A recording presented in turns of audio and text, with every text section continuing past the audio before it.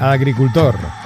En Agrosafor te asesoramos sobre los tratamientos más adecuados, plagas, abonos ecológicos, todo tipo de sustratos. Disponemos de pastillas enraizantes para plantones y hortícolas. Consulta sobre tratamientos para plagas, los mejores abonos ecológicos. Tenemos todo tipo de herramientas para el campo.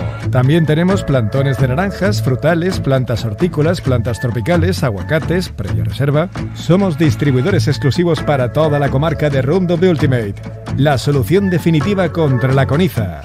Roundup Ultimate tiene una mayor eficacia, con un perfil ecotoxicológico mejorado aportando la solución definitiva para el control de las malas hierbas. Agrosafor, calle Palmera, Polígono Industrial de Miramar, teléfono 962 80 20 87. Agrosafor, la solución a tus tierras y tus cosechas sanas. Agrosafor patrocina el magazín diario de Telesafora.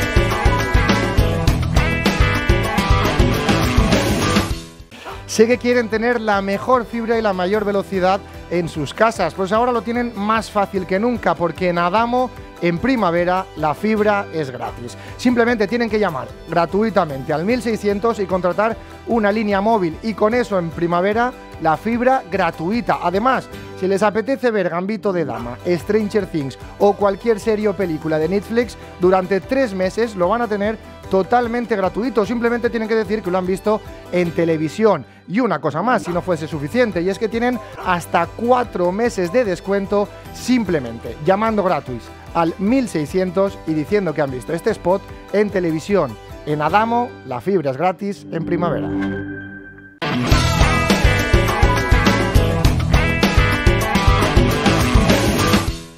Un grupo de exploradores vuelve a refugio, un asentamiento montañoso al borde de la extinción tras un duro viaje en el que han perdido a varios de sus miembros. Traen consigo a un forastero que alberga un secreto que podría suponer la salvación o desaparición de su pueblo.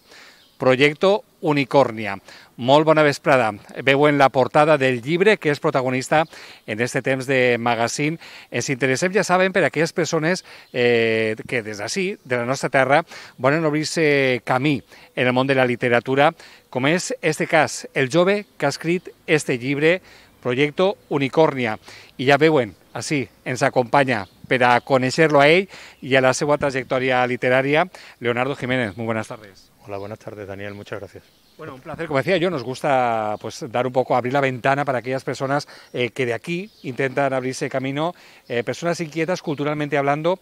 Proyecto Unicornia es eh, tu ópera prima literaria. Con ella te estrenas en este mundo y además una autoedición que habrá supuesto un esfuerzo, pero mayor satisfacción todavía, ¿no? Si cabe. Así es. Una autoedición, pues claro, siempre resulta dura porque tienes que dar la talla con respecto a lo que hay en el mercado. Y, y bueno, eh, no ha sido un camino fácil, pero hemos tenido al final, he podido sacarlo adelante. Eh, proyecto Unicornia. Mm, ¿Cómo surge este título? ¿El título aparece antes de desarrollar la historia o como siempre, como suele pasar muchas veces, eh, el título aparece una vez ya relatada la, la historia? Así es, tal como has dicho, eh, a medida que voy haciendo la historia, eh, se me van ocurriendo una serie de, de anotaciones, una serie de puntos que me hacen llegar a este título en concreto.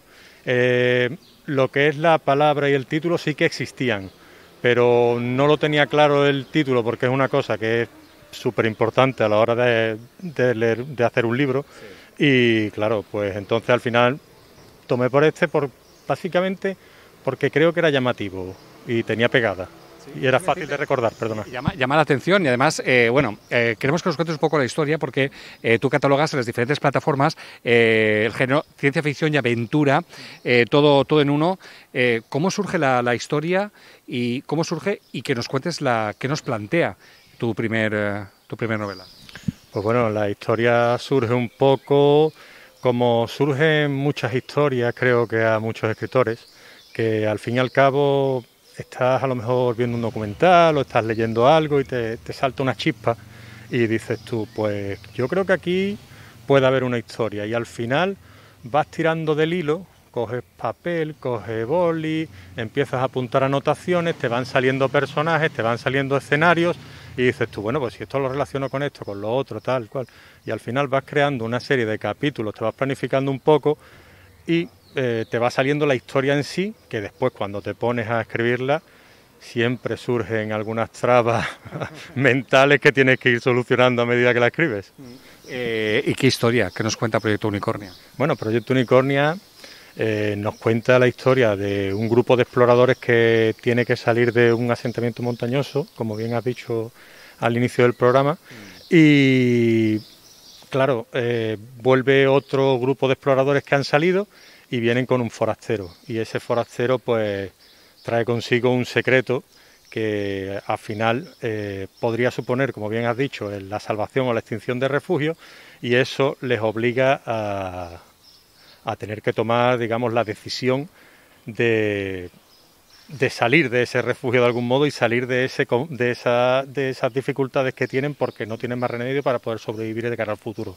Y a partir de ahí, pues bueno, ya se van desarrollando también otras historias en la cual justamente otro personaje está en una zona segura, en un búnker, y, y digámoslo así, despierta también, y él lo que necesita es salir a, sobrevivir fuera en un mundo hostil.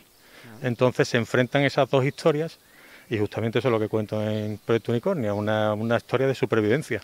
Eh, yo no sé si es todo completamente ciencia ficción o, es alguna, en algunos momentos hay como una referencia metafórica a, la realidad o algún planteamiento que, que, te gustaría que el lector eh, se lo llevara a su, a su terreno o no, es completamente ciencia ficción sin ningún tipo de, intención de hacer ninguna lección.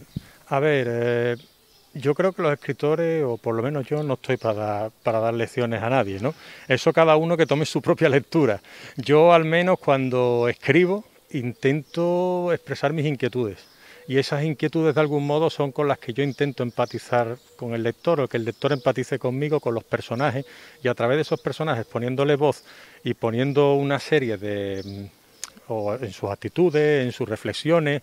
Ahí es donde yo alimento la historia de tal modo que, trato de explicar, digámoslo así, los pormenores que nos podemos encontrar en un mundo futuro, porque al fin y al cabo la obra es una distopía.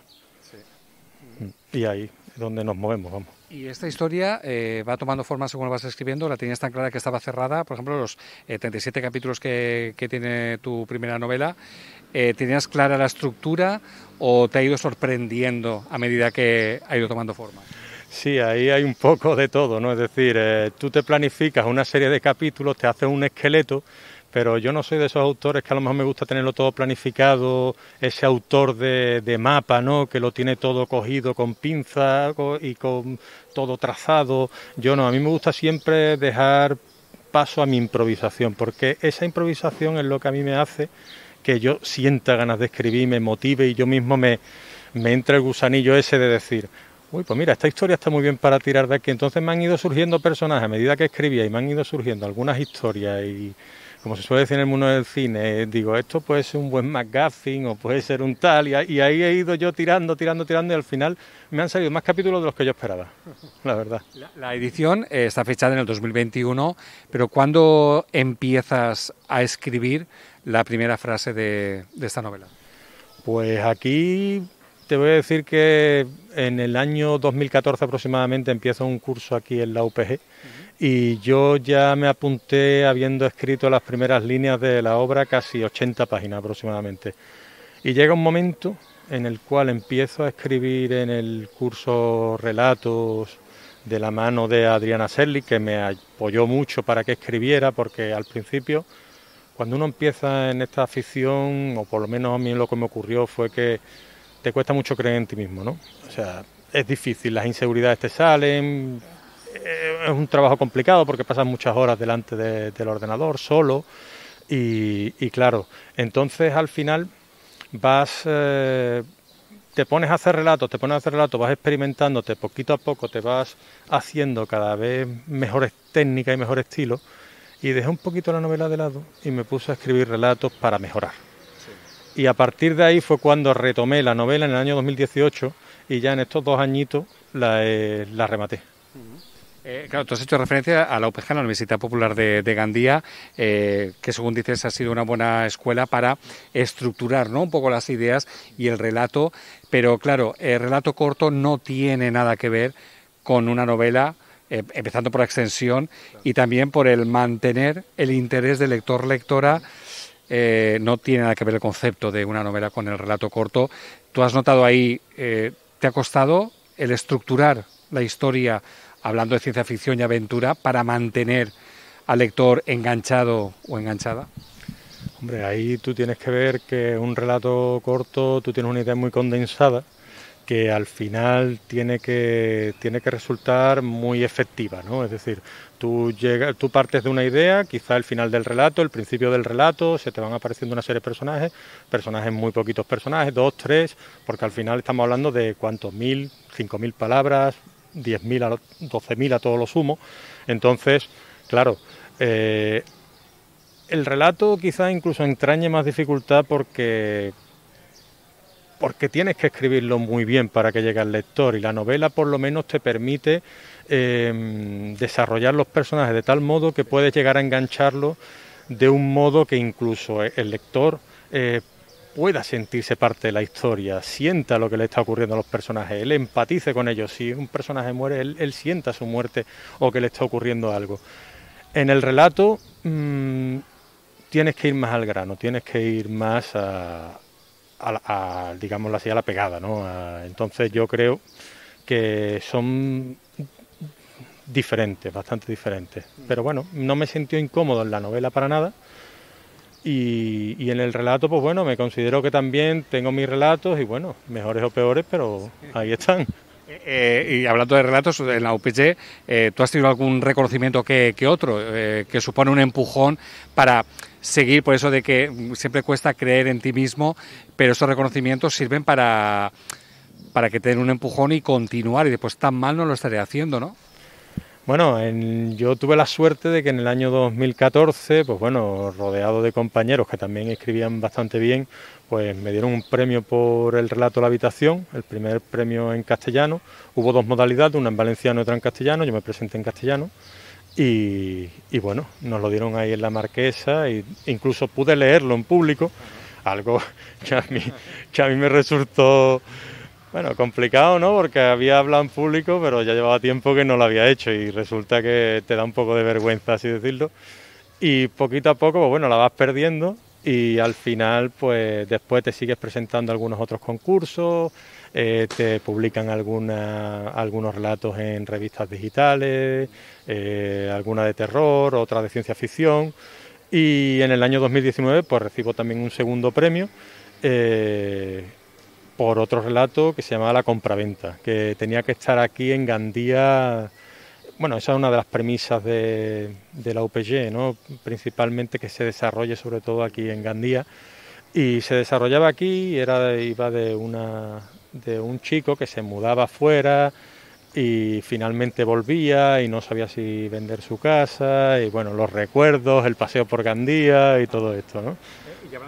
¿El escenario de esta novela eh, es real o también eh, completamente ciencia ficción? ¿O podría ubicarse en algún lugar? Efectivamente, es decir, eh, no puedo hablar mucho de la novela porque te estaría haciendo, como se dice hoy, spoiler, ¿no? Te la estaría destripando, ¿no? Y entonces, pero sí que, sí que, como te comentaba antes, estamos hablando de una distopía, estamos hablando de un mundo apocalíptico, en un mundo futuro, en el cual la novela, por ejemplo, se desarrolla en un en un vasto desierto. Y entonces, claro, eso te ofrece, por un lado, muchos recursos y por otro, pocos, porque tienes tú que desarrollar todo ese world building, como se llama en, en, literatura, ¿no? Entonces yo he tenido que desarrollar eh, ciudades, he tenido que desarrollar escenarios, he tenido que desarrollar, eh, aparte de los personajes, y, y eso son muchas descripciones que a veces puede llegar a saturar al lector. Has creado tu propio, tu propio mundo así decirlo, sí, porque ten en cuenta que estamos hablando de un mundo futuro eh, en el cual eh, se supone que se ha destruido todo el mundo en el que vivimos y ahí es donde se desarrolla la historia. Bueno, eh, hablando un poco de las ideas generales que nos estás dando, yo creo que, alguna lección deberemos sacar de, ese futuro de mm, que nos, que nos, se nos suene la, alarma porque si no eh, vamos podemos ir hacia una realidad que no es no es nada agradable. Yo estoy contigo en que a lo mejor tenemos que cuidar todo el entorno que nos rodea porque claro de eso va un poquito la novela y los lectores las críticas que me han hecho han ido por ahí, los que lo han leído, ¿no? que les ha podido gustar esa, ese pozo ¿no? que le ha dejado después de, leer, de terminar de leérsela. Entonces, pues sí que estoy contigo en que por ahí, pero claro, ahí te invito yo a leerla y tú mismo a tomar tu propia conclusión y ya la hablamos tomando un cafelito. lo, bueno es eso, es remover conciencias o al menos eh, dar algún meneo ¿no? a la, a la, conciencia. Eh, tú en los agradecimientos empiezas por la familia y amigos eh, que supongo que habrán sido el pilar fundamental para que esta pasión tuya eh, empiece a ser palpable en formato novela. Sí, claro, ahí cuando me hablas de eso, pues siempre uno se emociona un poco porque eh, si no fuera, por ejemplo, por mi familia, por mi mujer y mi hija, que me permiten ese tiempo que yo le, llamémoslo de alguna manera, le, robo, ¿no? Para poder llevar a cabo esta pasión de la escritura, yo me, por ejemplo, mi manera de trabajar, es levantarme por las mañanas temprano, me levanto a las seis y me pongo a, escribir, después a veces al mediodía o por la tarde, mientras eh, mi mujer se lleva al parque a la nena, cuando yo he terminado de trabajar y demás, pues bueno, aprovecho también para, algunas letras, alguna corrección. Y claro, a ella se lo tengo que agradecer y después a la familia y amigos es fundamental porque son los que me han apoyado una vez que yo he sacado también la novela y luego esos nombres que tú ves ahí son los lectores cero, que son los, aquellos que tú le das tu obra alguna vez acabada y antes de que salga en mercado, pues ellos te dan sus impresiones y son importantísimos. Y, el temido lector cero, estás en un sin vivir. Eh, para Amparo y Clara, mi faro y mi luz. Te quería leer esa dedicatoria a tu mujer y a tu, y a tu hija. Eh, tú, la gente dirá, eh, este chico no es de Candía, por el acento. Eres de Cádiz, eh, joven, has hecho filología inglesa, te fuiste a Andorra y de Andorra has acabado aquí en Gandía desde hace... 17 años aproximadamente. Yo me fui a Andorra en septiembre del año 2002. Conocí a principios, finales de año de, del 2002 y en principios de año empezamos ya a tener una pequeña relación mi mujer, que luego se fue afianzando y con el paso del tiempo nos fuimos a vivir juntos. Y al final, pues bueno, ya en el año 2004 tomamos, empezamos a charlar y tal de poder venir aquí, nos decidimos a venir y, tuvimos la suerte de que nos fue bien y luego ya pues nos casamos y tuvimos a, nuestra niña. ya 16, 17 años en, en Andía. Ya desde el año 2004 muy bien. Eh, Gandhi ha visto nacer tu primera, tu primera novela, eh, Proyecto Unicornia. La pregunta, no podemos acabar esta charla, Leonardo, sin hacer la pregunta. Supongo que si no ya eh, definitiva, al menos embastada o en la cabeza, más ideas para convertirlas en la segunda o la tercera novela. A ver, la segunda... De momento es pronto. No, la eh, cuando, cuando estaba terminando, justamente, a ver, yo tenía unos relatos escritos que tenía pensado publicar antes que la novela, pero, mm, digámoslo de algún modo, no tuve la posibilidad editorial de, sacarla al mercado porque eh, el relato no, no se considera, no, no es, mm, es un género menor ¿no? en España de algún modo y es complicado colocarlo en el mercado. Entonces al final me decidí a autopublicar la, la, primera novela y tengo pensado sacar los relatos algún día, yo por mi cuenta también, porque me ha, me ha gustado la experiencia de autopublicación. Y por otro lado, cuando acababa la novela, ya decía yo, no tengo ninguna idea, tengo, estoy seco. Y me surgió otra y me puse en octubre con ella y lo he acabado hace de revisar hace cuestión de dos o tres semanas y quiero sacar en otoño la segunda novela. Esto va viendo en popa. Eso, y ya, y ya, terminé dando la segunda, ya estoy con la tercera en la cabeza. Esto, esto engancha, ¿no? Porque estamos hablando de una pasión. Claro, esto es como el correr y las pasiones que tú tengas, que al final, como te ponga, te ponga, al final no para, no para, sí. Eh, pues nada, esperemos. Eh, bueno, ¿dónde podemos encontrar tu novela? La novela, bueno, se puede comprar en Amazon, que la ha puesto ahí en exclusividad por los beneficios que te da con el tema de lo que es las páginas leídas, con el tema de, poder encontrarla fácilmente. Entonces al final me decidí por ponerla en exclusiva, por mayor facilidad para mí y no tener que estar andando con otras plataformas y demás. Y al final, pues la verdad es que contento con la experiencia. Pues nada, eh, disfrutamos de momento de esta primera novela tuya, Proyecto Unicornia. Eh, cuando ya saques algo más al mercado, ya sabes, nos avisas y volvemos a, charlar de ese nuevo proyecto literario. De momento disfrutamos de, este, eh, que se nota que has disfrutado con, con él y habrán más. Si es que gracias por traernoslo aquí al, al magazine de Telesapor. Gracias a vosotros por traernos al programa y bueno, encantado de, de venir aquí y contaros mi experiencia. Posem el punt final nosaltres. Eh, ja veuen, així cal les meves mans projecte Unicornia. És l'òpera prima d'este jove, ell és de Cádiz, afincat a Gandia des de fa ja més de 15 anys, eh, i es proposa esta història de ciència-ficció i aventura, molta aventura sense perdre eh, pues un poc aquesta realitat futura eh, que s'acosta si no ens comportem millor conforme hem de fer-ho amb el nostre entorn. Però aventura, a disfrutar de este proyecto Unicornia de Leonardo Jiménez en Amazon. Posem el punt i final a este temps de magazine. Gràcies un dia més per estar ahí amb nosaltres. Ja saben que poden tornar a veure o recuperar els programes que vulguin en la web telesafor.com. Ahí estem. Gràcies per la seva atenció, la seva companyia si tenen ganes de més ja saben on trobar-nos, així, en Telesafor.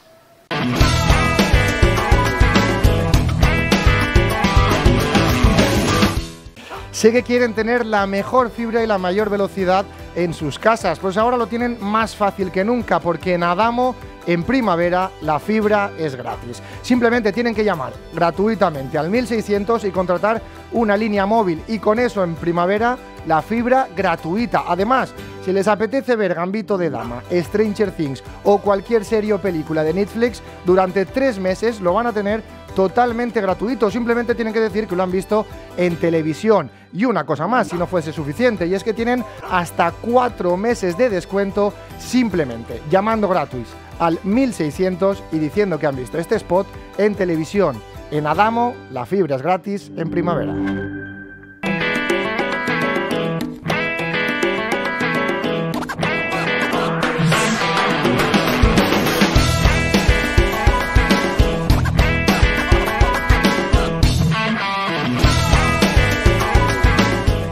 Agricultor. En Agrosafor te asesoramos sobre los tratamientos más adecuados, plagas, abonos ecológicos, todo tipo de sustratos. Disponemos de pastillas enraizantes para plantones y hortícolas. Consultas sobre tratamientos para plagas, los mejores abonos ecológicos. Tenemos todo tipo de herramientas para el campo. También tenemos plantones de naranjas, frutales, plantas hortícolas, plantas tropicales, aguacates, previa reserva. Somos distribuidores exclusivos para toda la comarca de Roundup Ultimate, la solución definitiva contra la coniza. Roundup Ultimate tiene una mayor eficacia, con un perfil ecotoxicológico mejorado aportando la solución definitiva para el control de las malas hierbas. Agrosafor, calle Palmera, Polígono Industrial de Miramar, teléfono 962 80 20 87. Agrosafor, la solución a tus tierras y tus cosechas sanas. Agrosafor ha patrocinado el magazín diario de Telesafor